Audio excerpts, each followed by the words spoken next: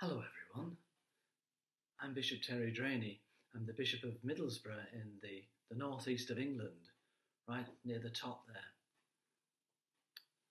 Middlesbrough Diocese contains North Yorkshire, East Yorkshire, uh, and all along the coast from, from Redcar down to, down to Withernsea.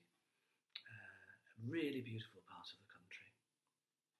Today I'd like to read to you um, chapter 53 of the, uh, of the Children's Bible.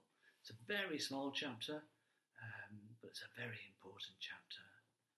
And its title is The Testimony of the Father.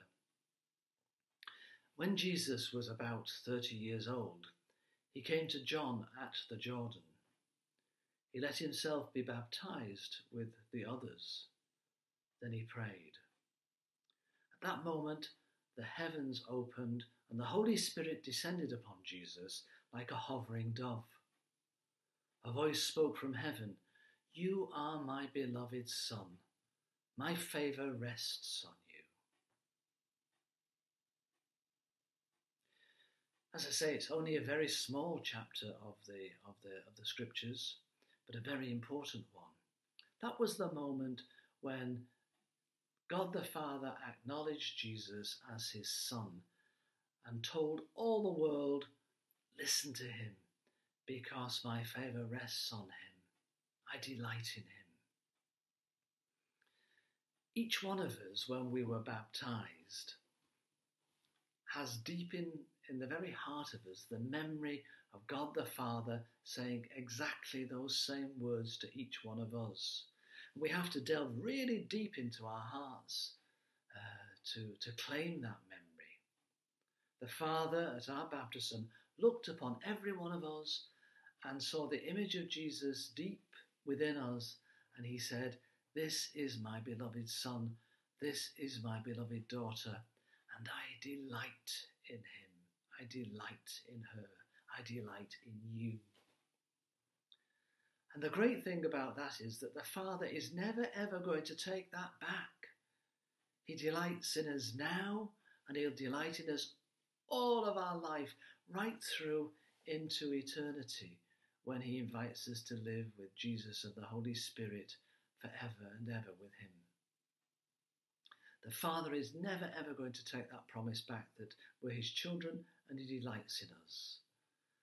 And we can build on that. It's about the only thing in our lives that will never change. So many things change.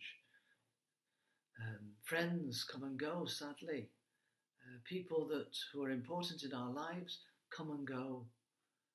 But the Father will never abandon us, and He will always call us His beloved Son, His beloved daughter, and He will never ever stop delighting in each one of us. And that's why it's important that we, we get hold of that memory and um, remind ourselves of it very frequently. Now, one or two things that you can think about perhaps.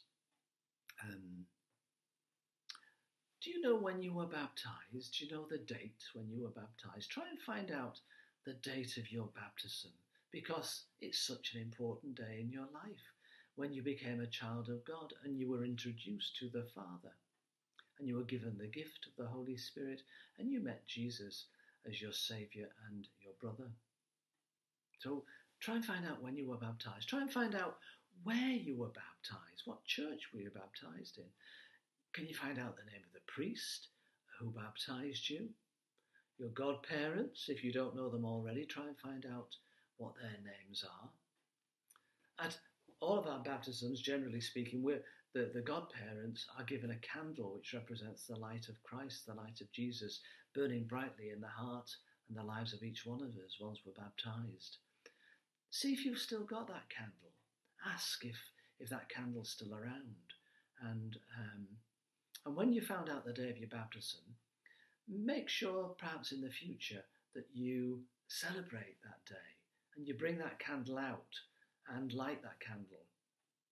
Not like your birthday, don't put it on top of the cake because I think it'd make a terrible mess of your cake, but bring that candle out and light it to remind yourself that you were baptized. And when you were baptized, you became a son or daughter, a child of God, a child of the Father, and He told you that He delights in you now and forever. Thank you very much. Um, I hope you enjoy that little story, and, and I hope it means something to you. Bye bye and God bless.